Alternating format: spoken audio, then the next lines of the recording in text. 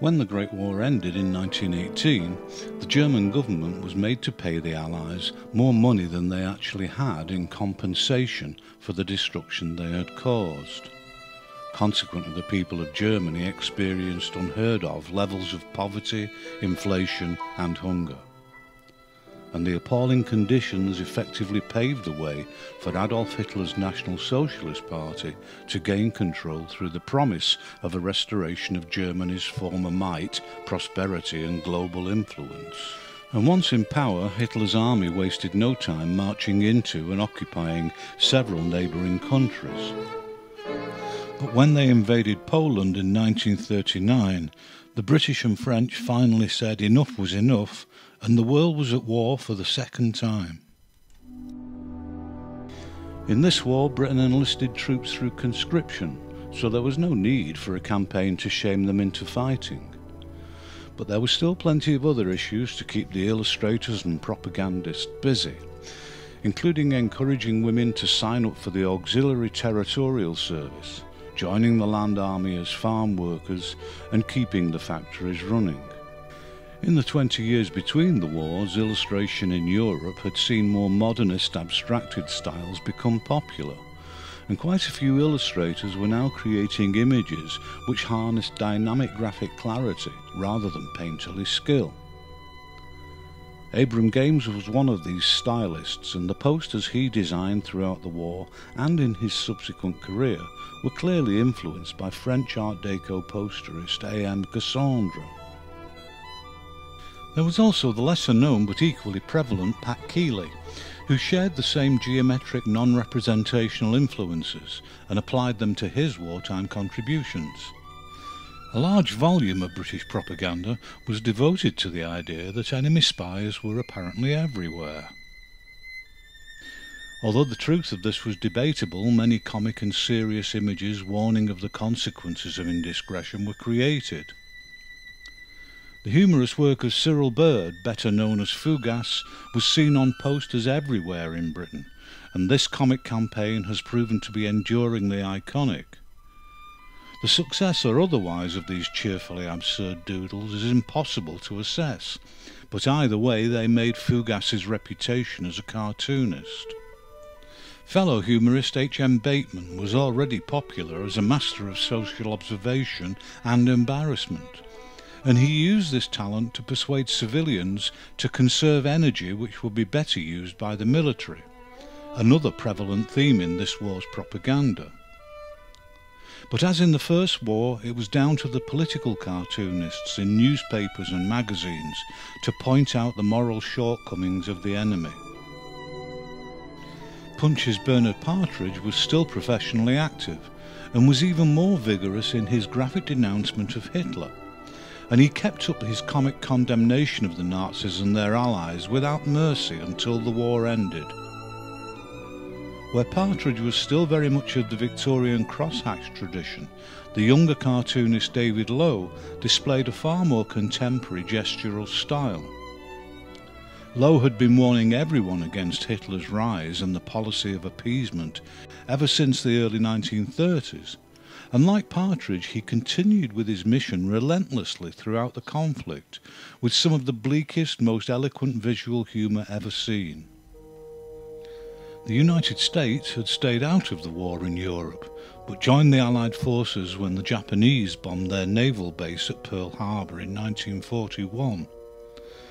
Consequently, their propaganda was directed toward the enemy in the east as much as it was at the Germans and as in the First War, many of the posters created for their campaigns made use of the representational skills of their best painters.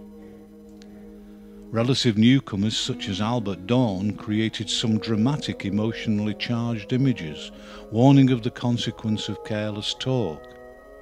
And the remarkably controlled brushwork of John Falter was used on many posters for the same purpose aimed at troops and civilians alike and their work appeared alongside contributions from the old guard, such as the still professionally active N.C. Wyeth and Mead Schaeffer, whose rousing patriotic images appeared on posters and in magazines.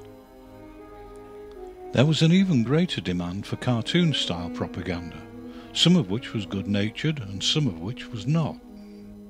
Jack Campbell had been an animator with Disney Studios, but during the war he was the creator of the highly rendered cartoon bad guy Tokyo Kid, a particularly hostile representation of Japan's evil intentions who featured on posters in American factories.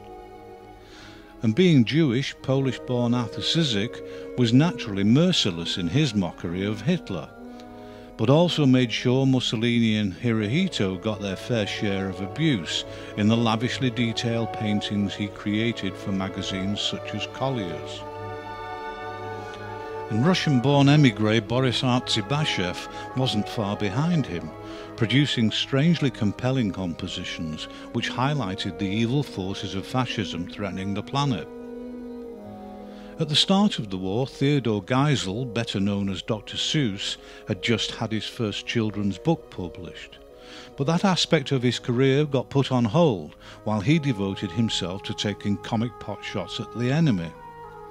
And although his cartoons seemed superficially cheerful, his loose expressive line work and bitter humour frequently equalled that of Britain's David Low.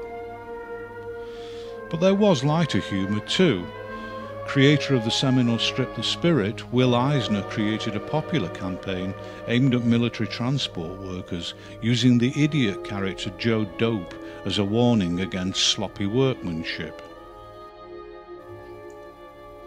And while in active service, Bill Mauldin simultaneously drew gags similar to those of British cartoonist Bruce Bairnsfather in World War One but with battle-wearied GIs making the best of things while being shot at overseas.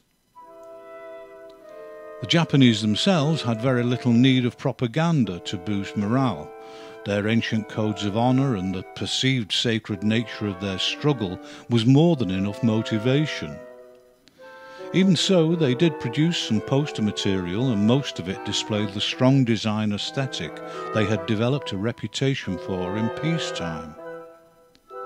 The same could not be said of the particularly badly drawn leaflets which were dropped on Allied troops fighting in the East, which attempted a rather simplistic and ultimately ineffective divide and conquer strategy. It was inevitable that in this war the Italians would eagerly line up with the Germans. Just like Hitler, Benito Mussolini was a fascist dictator who had risen to absolute power through any means necessary during the 20s and 30s, and they shared many of the same belligerent objectives. Other than a small number of more blockish modernist examples, the Italian illustrators continued to favour highly rendered painted posters, which used melodramatic emotive imagery to make their point. Their campaign was led by the remarkable illustrative talent of Gino Boccasile, he was already established as Italy's most popular illustrator, with a lot of successful commercial poster work to his credit, and he had been appointed Italy's head of propaganda as war had loomed ever closer in the mid 30s. Boccasile created a remarkably stylish and relentless poster campaign, which early on settled for patriotically Italian pro fascist sentiments. But as Mussolini's grip on Italy started to weaken, Boccasile's imagery became increasingly venomous, racist and anti-Semitic, right up to Italy's surrender and Mussolini's assassination in 1943. Boccasile was later tried as a member of the Italian SS, but was acquitted of war crimes.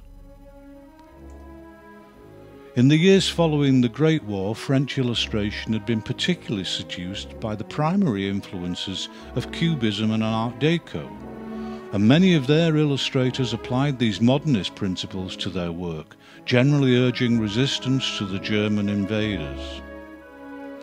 A.M. Cassandre was too busy actually fighting, but others, such as posterist Paul Colin, who was too old to fight, supplied their services with stylistically similar work. But because a lot of France was under German occupation, there was considerably less printed propaganda than previously, and magazines such as Le Rire had been well and truly silenced. The Russians had their own murderous dictator in the form of Joseph Stalin, Before the war, he had signed a non aggression pact with Hitler, but in 1941 the Germans invaded Russia anyway, so Stalin quickly joined the Allies as a matter of self preservation. From that point on, Russia's propaganda portrayed the war rather dishonestly as an ideological struggle between fascism and communism. Given their own appalling track record, they could hardly claim to be fighting anti Semitism. And in the main, they continue with the blockish dynamic graphic style they had popularised following the revolution. Although there were some less predictable European style deviations too, and even occasional uncharacteristic humour. As for Germany itself, Hitler's Minister of Propaganda, Joseph Goebbels, redoubled his efforts to keep German resolve and belief in their holy mission as fervent as possible, with all manner of propaganda, including an avalanche of patriotic posters. Once again, Ludwig Hohlwein led the way, and had done throughout the rise of the Nazi Party in the 30s. All of his work continued to harness his trademark dynamism and powerful aesthetic sensibility to make the Aryan ideology of the Third Reich look like a seductively heroic and noble cause. And faith in the Fuhrer himself was another prevailing theme in German propaganda, with many images by Hohlwein and others showing the Fuhrer as a benign heroic figure Germans should be proud to serve. Hohlwein never produced any directly anti-Semitic imagery, but there were plenty of lesser talents only too happy to oblige. And many images were produced under Goebbels' direction, which depicted Jews as not only a blight on Germany, but also as the evil puppet masters pulling the strings of the Allied forces. And in the countries they had occupied, the Germans invariably set about trying to convince the inhabitants that it was actually a good thing. These examples are Norwegian, and they were all created by the popular illustrator Harald Damsleth, who was himself a fascist and only too happy to oblige his new masters with a string of pro-German painted posters. As for German humour, the artists of Simplicissimus once again rallied to the call, even if some did so reluctantly. But it was a matter of self-preservation, and it seemed preferable to death in a concentration camp. Artists such as Olaf Gulbransson repeated their performance from the Great War and created images vilifying the Allies in general and Winston Churchill in particular. Germany's other leading satirical magazine, Lustiger Blätter, was considerably more overtly anti Semitic, and many of its covers and pages were devoted to accomplished and stylish but morally inexcusable cartoons attacking the Jews and the Allies with increasing vitriol as the war progressed. But it was obvious to even the staunchest of Nazis that the Third Reich was rapidly being overwhelmed. Italy had already surrendered, and in 1945 the German war machine collapsed and peace was restored in Europe. Some months later, following the atomic bombing of Nagasaki and Hiroshima, the Japanese too stopped fighting. Estimates vary, but more than 50 million people died in this war. Mussolini was already dead, Hitler and Goebbels committed suicide, and others were executed for war crimes. Being royal, Hirohito got away with his life. And ever since, we have lived under the ever present shadow of a Third World War. Who knows, maybe we'll get lucky and we'll continue to dodge that bullet. But if it does come, we'll have little need of propaganda.